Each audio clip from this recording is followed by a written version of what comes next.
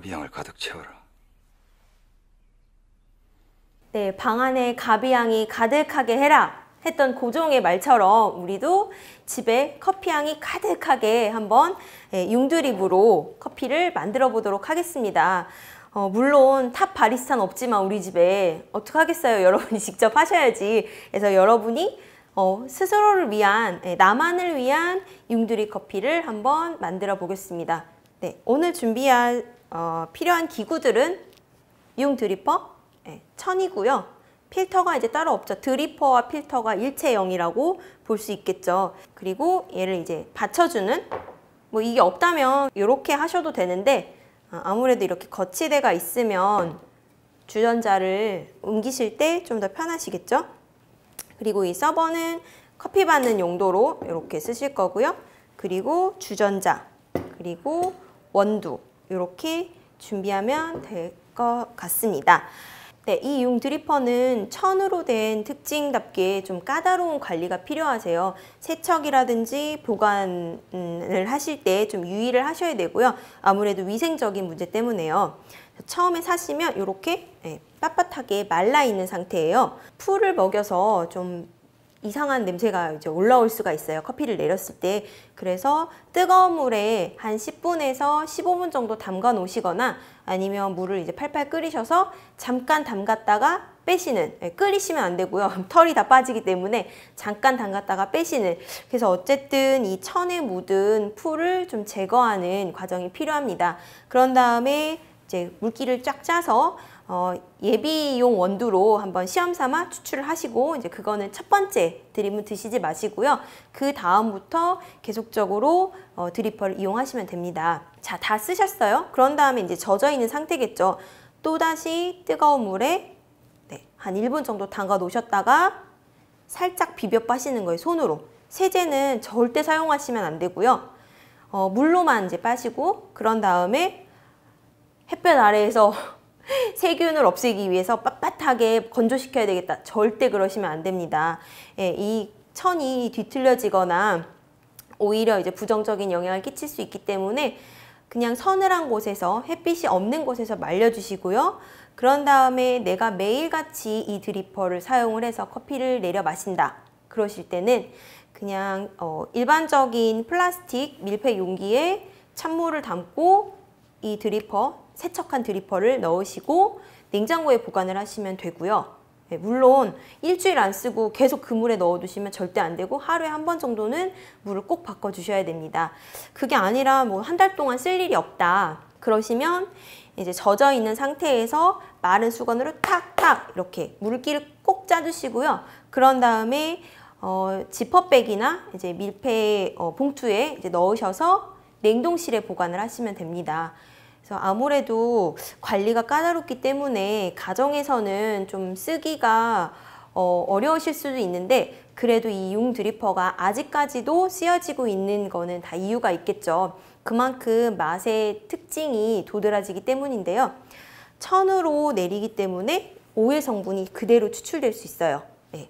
아무래도 종이로 하면 오일을 다 먹잖아요. 근데 얘는 오일 성분이 그대로 드러나서 바디감이 굉장히 좋고요. 바디감이라는 건 약간의 이제 무게감, 뭐 부드러움, oily, silky한 이런 거로 생각하시면 되고 또한 깔끔해요.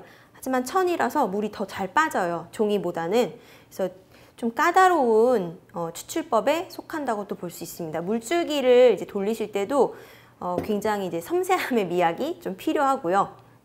또 하나의 특징은 얘가 면 재질이긴 하지만 한쪽은 이제 털이 나 있고 한쪽은 그냥 면 같은 약간 양면이 다른 예, 다른 스타일의 천이에요. 그래서 쉽게 생각하시면 그 구두 수선하러 가셨을 때 막 구두 광내는 거 있잖아요. 그런 천이라고 보시면 될 것 같아요. 네, 그래서 저는 이제 처음 샀다 치고 데우는 과정부터 하겠습니다. 저는 이미 좀 몇 번 쓴 드리퍼기 때문에 뜨거운 물로만 예열도 하고 세척도 하는 과정으로 이렇게 단순화시켜서 하고 있는데요. 여러분은 직접 새 거를 구매하신다면은 꼭 팔팔 끓인 물에 데치거나 아니면은 이제 조금 더 장시간 예, 우려두시는 시간이 필요합니다. 서버도 예열하고요. 충분히 빠졌으면 살짝 이제 짜주시고요. 너무 세게 짜시면 이 기모들이 다 빠지거든요. 그러면은 여- 좀 오래 사용을 하실 수가 없으세요. 이렇게 마른 린넨 같은 천에 탁탁 쳐서 물기를 제거를 하시고요. 아, 이 천인데 몇 번 쓸 수 있을까? 아, 그런 질문도 많이 하세요. 한 100번 정도 예, 빨면 다시 바꿔야 된다고 보시면 돼요. 그래서 그 후로는 좀 추출도 불균일해지고 위생상으로도 조금 안 좋다고 하니까 예, 바꾸시는 걸 고려해 보시고요.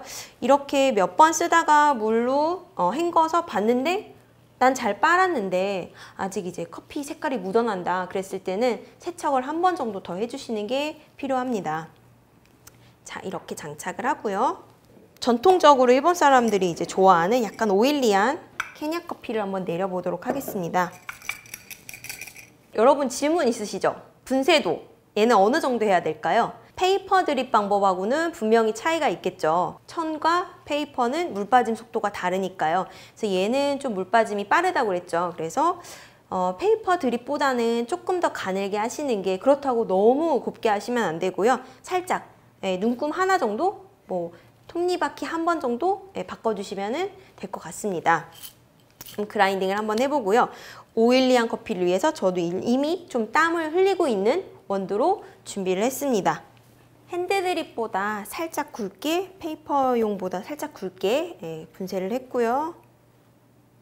네, 뜨거운 물을 준비를 하셨고요. 전 좀 진한 융드립 특유의 바디감을 위해서 처음에는 점드립으로 추출 시간을 좀 오래 만들고 후에는 예, 달팽이 드립법을 사용하도록 하겠습니다.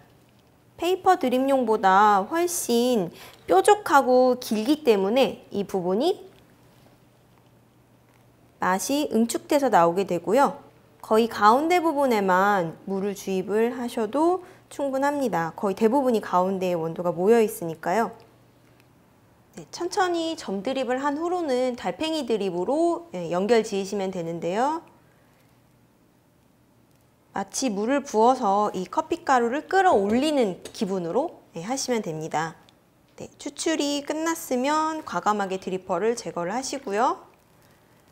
네, 제가 계속 말을 하면서 하는 하고 너무 과다 추출을 했어요. 근데 이제 우리가 20g을 담았는데 그건 2인분이에요.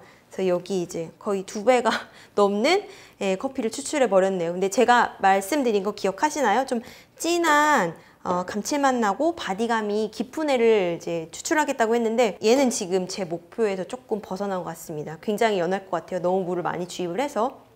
그래서 자 한번 고종황제가 예, 마셨다는 예, 융드립으로 우리도 한번 커피를 한번 마셔보도록 하겠습니다. 아, 제가 물을 좀 많이 부어서 아, 살짝 좀 2%가 아쉽거든요.